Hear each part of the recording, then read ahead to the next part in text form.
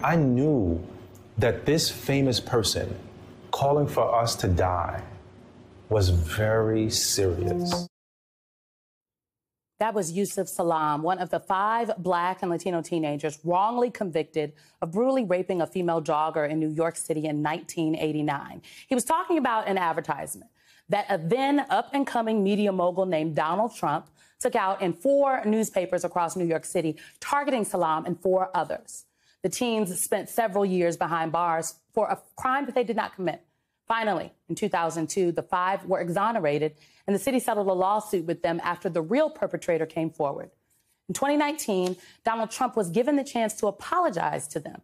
Instead, this is what he had to say.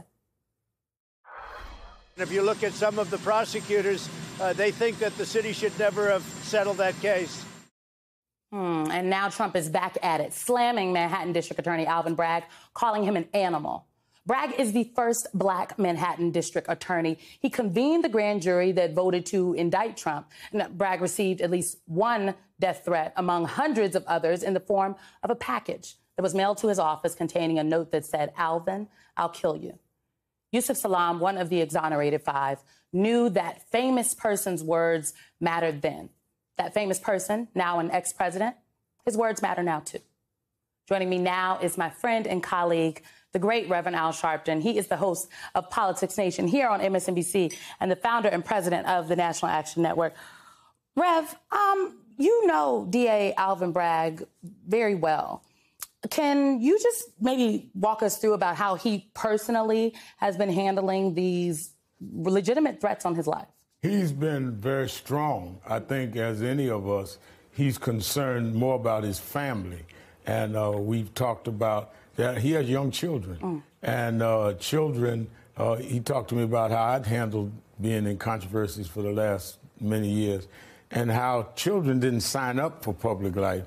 And they're now subjected to this not only media uh, maelstrom, but actual threats against their father and could be possibly against him.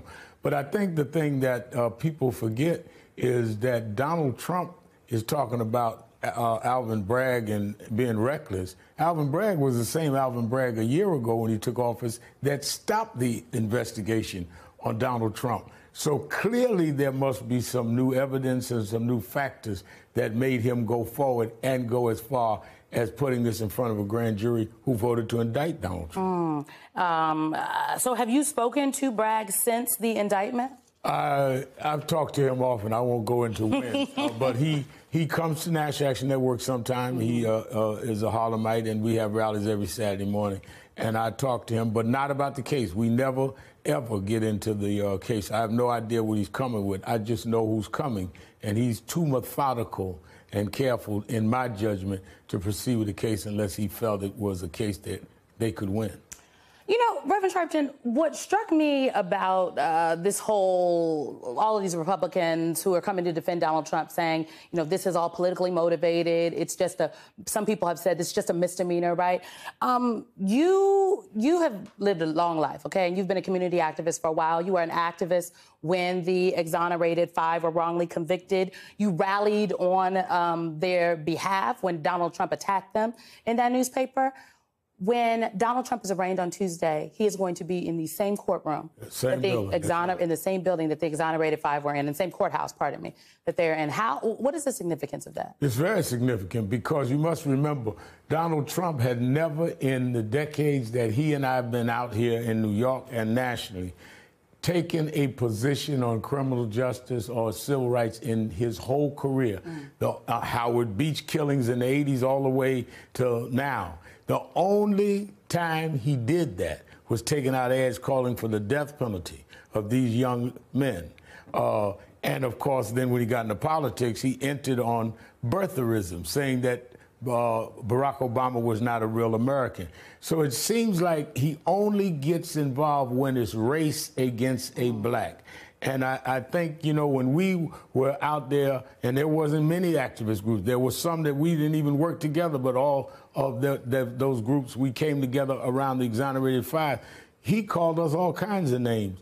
And this is because these kids said to us, their parents said to us, they were forced into confessions, and they ended up being right.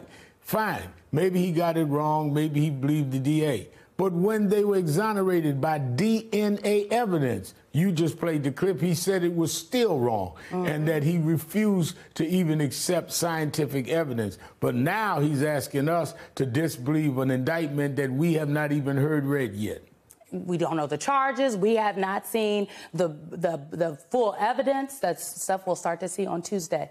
Um, of some of the attacks uh, that have been leveled by Donald Trump and his allies against the uh, DA has been specifically about the fact that the DA, they say the DA has declined to take on some lower level charges, yet he's going after Donald Trump. Now, I know in January of 2022, uh, once Alvin Bragg took office, he issued a memo uh, that talked about the kinds of charges that he would not, uh, they wouldn't go after anymore. Uh, fare jumping. Fare jumping.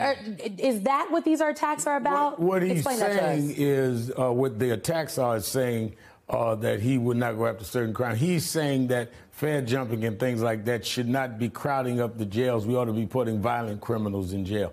And some of the uh, crimes that were higher has gone down under Alvin Bragg. Uh, so I, I, think that they're just playing games, trying to stoke people's fears. Alvin Bragg has been a prosecutor for a long time. He has a record. He was voted in because of that record. And I think for them to try and say that is, is erroneous. But again, uh, I'm having Michael Cohen on uh, uh, again the next uh, hour and on Politics Nation following you. Ha- Eric Holder is going to be on. Mm. Again, we're talking about a case that we have not even heard yet. We don't know if this is just uh, uh, about Stormy Daniels until Tuesday. So we must see what happens. I can only say there was a song called Stormy Monday, but Tuesday's just as bad. Mm, all right. Reverend Al Sharpton.